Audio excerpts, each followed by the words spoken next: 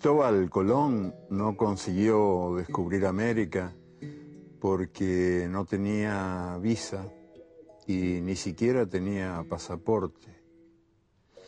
A Pedro Álvarez de Cabral no lo dejaron desembarcar en Brasil porque podía contagiar la viruela, el sarampión, la gripe y otras pestes desconocidas en el país.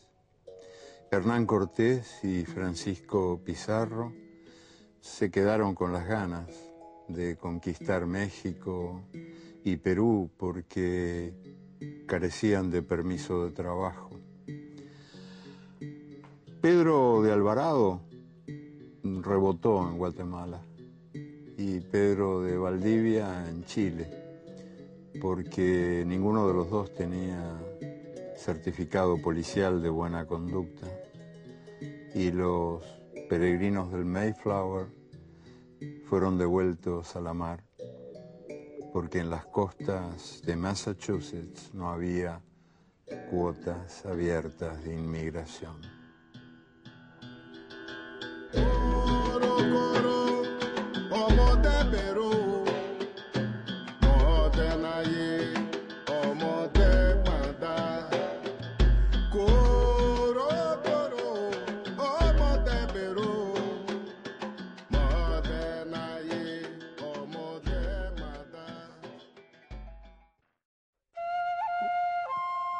Cuenta la historia oficial que Vasco Núñez de Balboa fue el primer hombre que vio desde una cumbre en Panamá los dos océanos.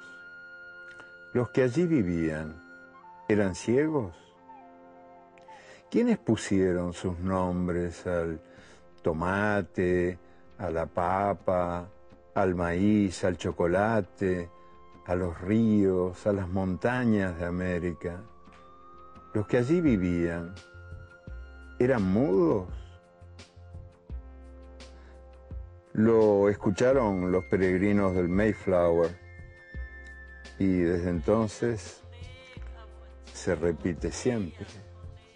Dios decía que América era la tierra prometida. Pero los que allí vivían eran sordos. Los nietos de aquellos peregrinos del norte se apoderaron del nombre América y de todo lo demás, o casi todo lo demás. Ahora americanos son ellos.